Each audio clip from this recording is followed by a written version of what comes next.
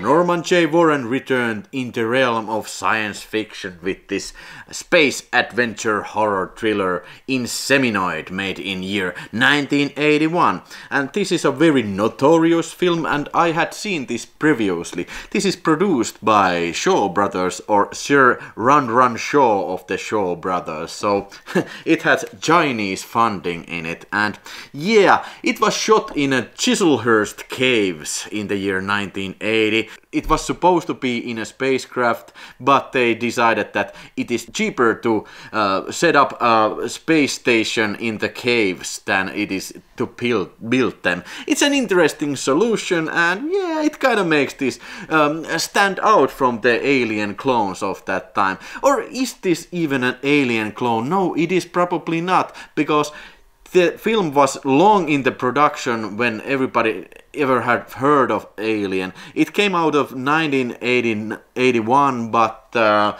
Alien, I don't think it was. It came out in UK until 1980. So production plans and screenplays were already long made when they probably saw Alien. I don't know. At least Norman J. Warren did say that uh, no, they didn't see Alien.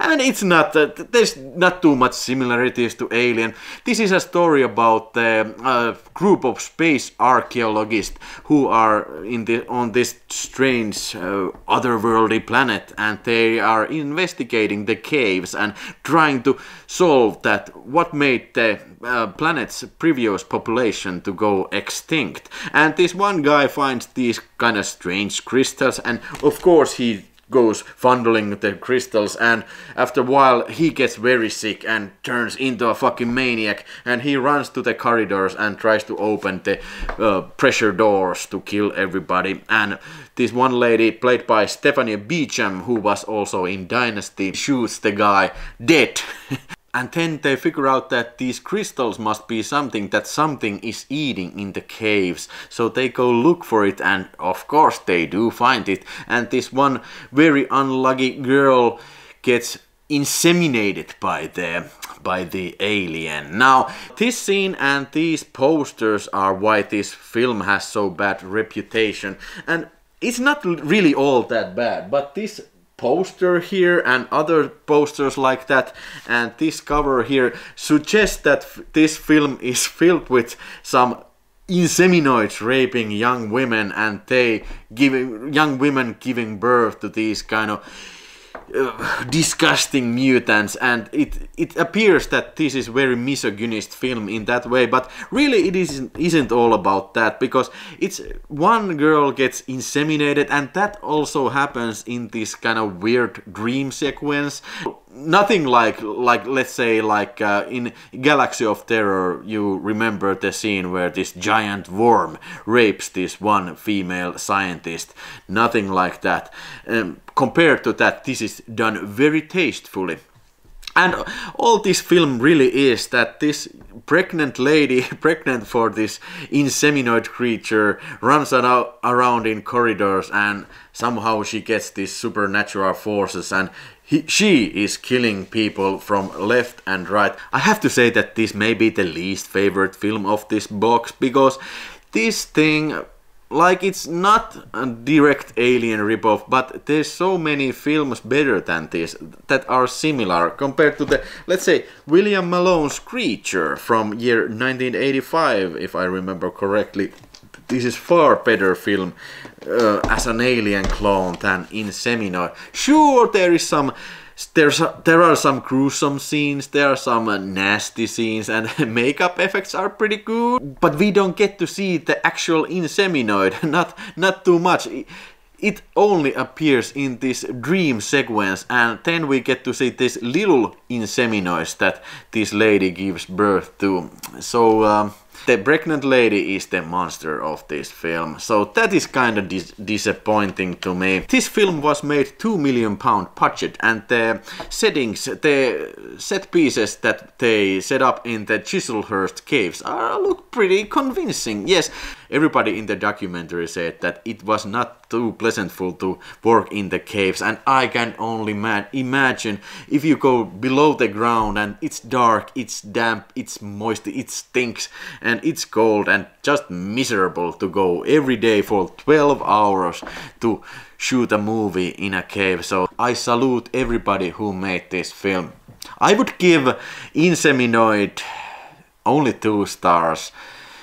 Its reputation far exceeds the uh, actual merits that this film has. But definitely this gotta be the best alien clone that has ever been shot in the Chislehurst caves. That's for dang sure.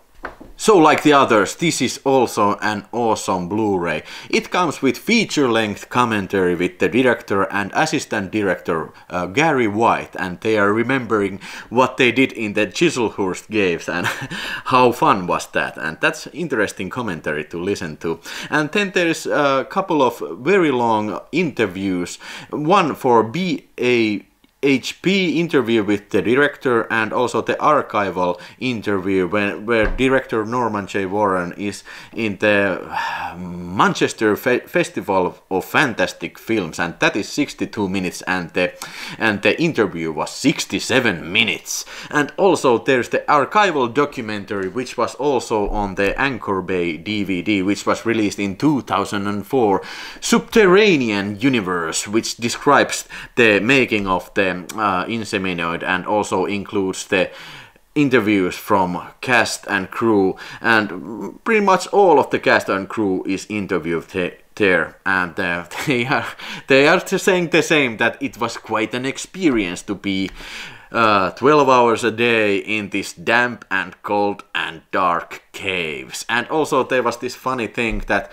when they built the sets, they built them from wood. And when it was moist down there, the moisture just expanded the wood so the sets would move by themselves at night. So they were probably wondering oh, if there is there ghosts or something. But yeah, it's it's kind of a small miracle that they managed to pull this thing off. Also, there's a new interview with the actor Trevor Thomas who played Mitch in the role, um, and that was made 2019, and he describes the making of of Inseminoid, and also archival documentary interview from the music maker uh, who made the electrical score for this this film and that is also pretty oddball score. Actually, every Norman J. Warren film has kinda this weird score. He probably had something to do with this. Put some weird music for me, man! And your usual trailers and still images and stuff is also on this disc. And by the way, all these discs come with uh, English hard of hearing subtitles. So Inseminoid is not my favorite cup of tea of Norman J. Warren's filmography, but in the realm of British science fiction and horror film, it's a significant achievement. You know, two million pound science fiction alien clone that was made in the caves. And it is definitely the best British alien film that is made in the Chislehurst cave to say the least yes. But in the next episode I will talk you about the last film in this box Bloody New Year. I don't know anything about this film but I soon will find out and the next time I will tell you everything I know. So catch you the next time and remember to hit that like button and also subscribe to the channel so you won't miss the exciting conclusion of Norman J. Warren Bloody Terror film fucking marathon baby yeah yeah see you bye